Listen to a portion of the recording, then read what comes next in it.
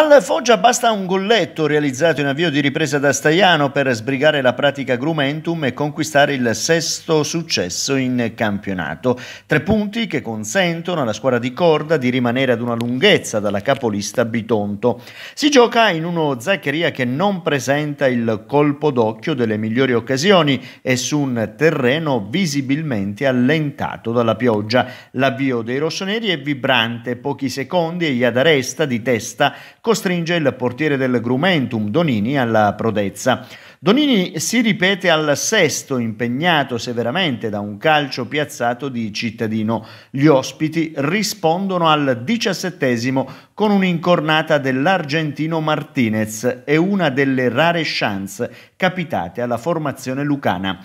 Sullo Zaccheria continua a piovere, la scarsa visibilità obbliga all'accensione dei fari. Al ventitreesimo Tortori dalla distanza sfiora il gol, palla al lato. Dopo 33 minuti si fa male Martinez, Bongermino prende il suo posto al 36esimo Occasionissima per il Foggia che nasce da un errato disimpegno della difesa lucana. Iadaresta fa tutto bene ma la sua conclusione impatta sul palo alla sinistra del portiere. All'intervallo si va sullo 0-0.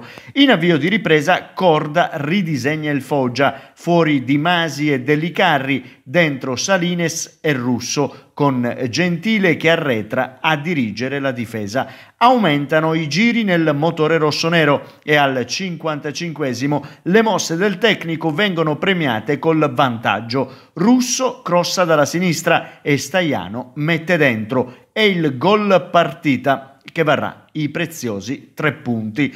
Girandola di cambi da una parte e dall'altra, il Foggia ci prova ancora al 62esimo con un colpo di testa di Viscomi, parato dal portiere. Sempre Viscomi al 75esimo incorna di poco alto sulla traversa sugli sviluppi di un calcio d'angolo. Un minuto più tardi Proteste del Foggia per un sospetto tocco con un braccio in aria di un difensore del Grumentum. L'arbitro lascia correre. Campagna ci prova al 78 dai 25 metri, ma la conclusione termina fuori e il Foggia la chiude nella tre quarti avversaria, dove si spengono anche i 4 minuti di recupero che sanciscono la vittoria dei rossoneri e avviano la festa dello Zaccheria.